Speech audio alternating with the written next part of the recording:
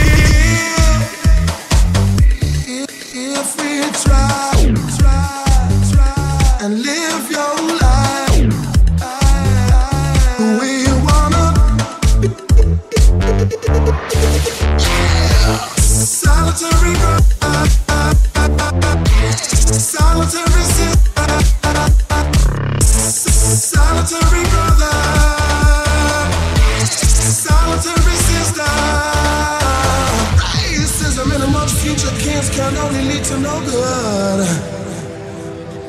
Besides, all the sons and daughters already know how that feels. Yeah.